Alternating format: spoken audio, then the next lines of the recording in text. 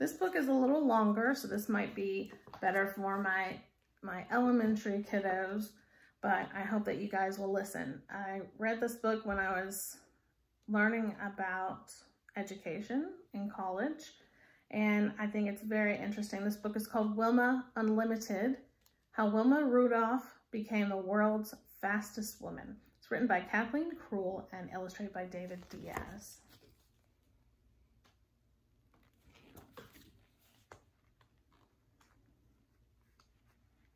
No one expected such a tiny girl to have a first birthday. In Clarksville, Tennessee in 1940, life for a baby who weighed just over four pounds at birth was sure to be limited. But most babies didn't have 19 older brothers and sisters to watch over them. Most babies didn't have a mother who knew home remedies and a father who worked several jobs. Most babies weren't Wilma Rudolph. Can you imagine having 19 older brothers and sisters?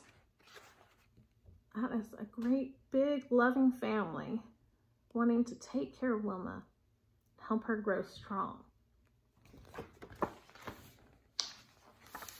Wilma did celebrate her first birthday, and everyone noticed that as soon as this girl could walk, she ran or jumped instead. She worried people, though. She was always so small and sickly. If a brother or sister had a cold, she got double pneumonia. If one of them had measles, Wilma got measles too, plus mumps and chickenpox. Her mother always nursed her at home. Doctors were a luxury for the Rudolph family. And anyway, only one doctor in Clarksville would treat black people. If she's running and jumping. Kind of scary that she gets so sick all the time, though. Just before Wilma turned five, she got sicker than ever. Her sisters and brothers heaped all the family's blankets on her, trying to keep her warm. During that sickness, Wilma's left leg twisted inward and she couldn't move it back. Not even Wilma's mother knew what was wrong. The doctor came to see her then. Besides scarlet fever, he said, Wilma had also been stricken with polio. In those days, most children who got polio either died or were permanently crippled. There was no cure. The news spread around Clarksville. Wilma, that lively girl, would never walk again. That's what they thought.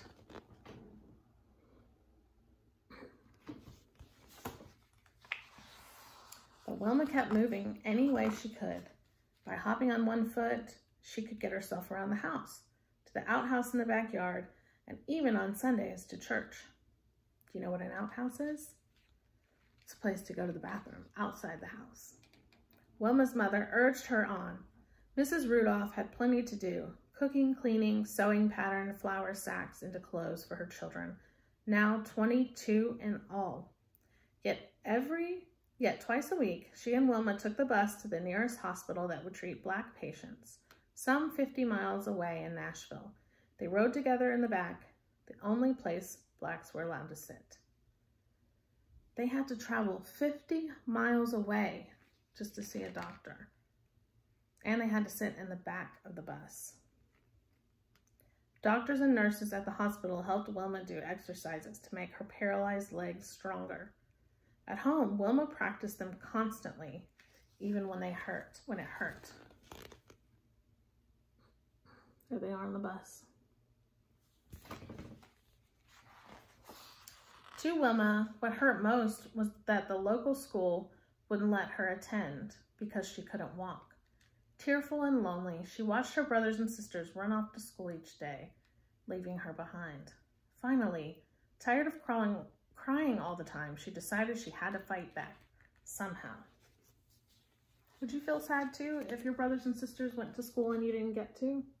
Or your friends? I think I would feel sad if I was left behind. Wilma worked so hard at her exercises that the doctors decided she was ready for a heavy steel brace. With the brace supporting her leg, she didn't have to hop anymore. School was possible at least, at last. But it wasn't the happy place she had imagined. Her classmates made fun of her brace. During playground games, she could only sit on the sidelines. Twitchy with impatience. She studied the other kids for hours, memorizing moves, watching the ball zoom through the rim of the bushel basket they used as a hoop. Wilma fought the sadness by doing more leg exercises. Her family always cheered her on, and Wilma did everything she could to keep them from worrying about her. At times, her leg really did seem to be getting stronger. Other times, it just hurt.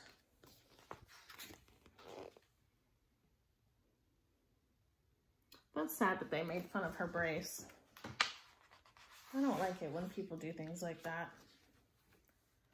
One Sunday on her way to church, Wilma felt especially good. She and her family had always found strength in their faith, and church was Wilma's favorite place in the world. Everyone she knew would be there, talking and laughing, praying and singing. It would be just the place to try the bravest thing she had ever done. She hung back while people filled the old building. Standing alone, the sound of hymns coloring the air, she unbuckled her heavy brace and set it by the church's front door. What is she going to do? Taking a deep breath, she moved one foot in front of the other, her knees trembling violently. She took her mind off her knees by concentrating on taking another breath and then another. She's trying to walk without her brace. Been practicing to get stronger and stronger. Here she is, walking through the church without her brace on. Whispers rippled through the gathering. Wilma Rudolph was walking, row by row, heads turned toward her as she walked alone down the aisle. Her large family, all her family's friends, everyone from school, each person, person stared wide-eyed. The singing never stopped. It seemed to burst right through the walls and into the trees.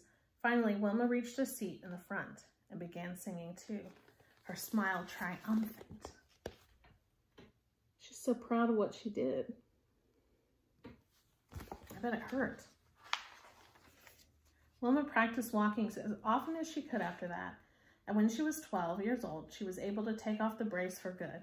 She and her mother realized she could get along without it. So one memorable day, they wrapped the hated brace in a box and mailed it back to the hospital. As soon as Wilma sent that box away, she knew her life was beginning all over again. I bet that did feel good to get rid of that brace. She worked hard. After years of sitting on the sidelines, Wilma couldn't wait to throw herself into basketball, the game she had most liked to watch. She was skinny, but no longer tiny. Her long, long legs would propel her across the court and through the air, and she knew all the rules and all the moves. In high school, she led her basketball team to one victory after another. Eventually, she took the team all the way to the Tennessee State Championships.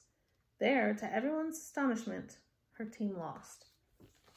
Do you like to play basketball? I think that's pretty amazing that she went from not being able to walk to using a brace to playing basketball and playing basketball well. Wilma had become accustomed to winning. Now she slumped on the bench, all the liveliness knocked out of her. She said that they lost the championship. But at the game that day was a college coach. He admired Wilma's basketball playing, but was especially impressed by the way she ran. He wanted her for his track and field team. With his help, Wilma won a full athlete scholarship to Tennessee State University. She was the first member of her family to go to college. When you get a scholarship, that means that they're going to pay for you to go to school because college is very expensive. They're paying because she's going to be on their track team. Eight years after she mailed her brace away, Wilma's long legs and years of hard work carried her thousands of miles from Clarksville, Tennessee. The summer of 1960, she arrived in Rome, Italy to represent the United States at the Olympic Games as a runner. Just participating in the Olympics was a deeply personal victory for Wilma, but her chances of winning a race were limited. Simply walking in Rome's shimmering heat was a chore, and athletes from other countries had run faster races than Wilma ever had. Women weren't thought to run very well. Anyway, track and field was considered a sport for men, and the pressure from the public was intense. for the first time ever, the Olympics would be shown on television, and all the athletes knew that more than 100 million people would be watching. Worst of all, Wilma had twisted her ankle just after she arrived in Rome. It was still swollen and painful on the day of her first race. Do any of you like watching the Olympics on TV? I do. I like watching track. And I like watching gymnastics, figure skating, and a lot of the other sports.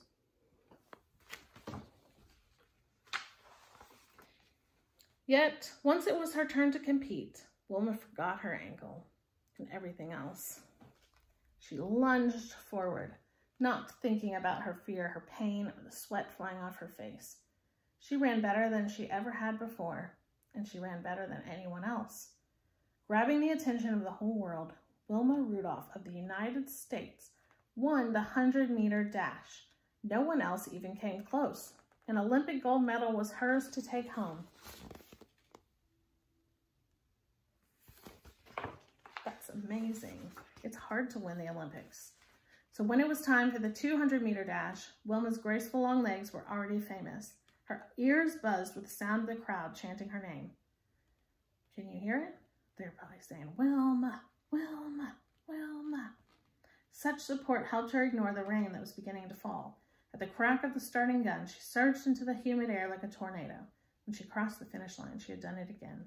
She finished far ahead of everyone else. She had earned her second gold medal. Wet and breathless, Wilma was exhilarated by the double triumph. The crowd went wild. The 400 meter relay race was yet to come. Wilma's team faced the toughest competition of all, and as the fourth and final runner on her team, it was Wilma who had to cross the finish line. In a relay race, one person goes, and then they hand a baton to the next person, and then they run, and then the next person, and then somebody finishes. So she's the last person that will be finishing the race. There they are, the third person handing her the baton. That's what that's called.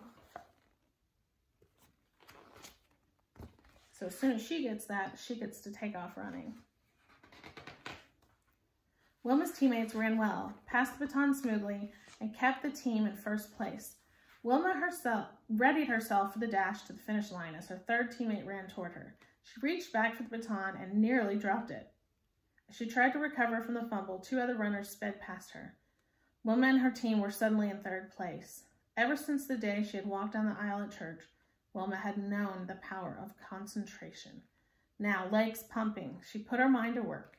In a final electrifying burst of speed, she pulled ahead. By a fraction of a second, she was the first to blast across the finish line. The thundering cheers matched the thundering of her own heart. She had made history. She had won for an astounding third time. So she won two races by herself and the third race as a team.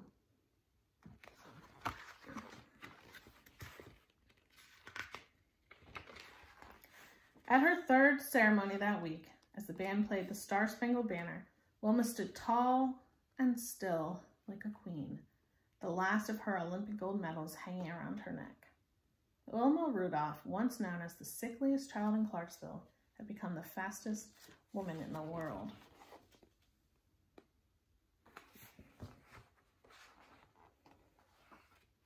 That's the end. That's a pretty cool story, isn't it? Sadly, I didn't really know much about her until I read this book. And I'm really glad that I read it. I hope you liked it too.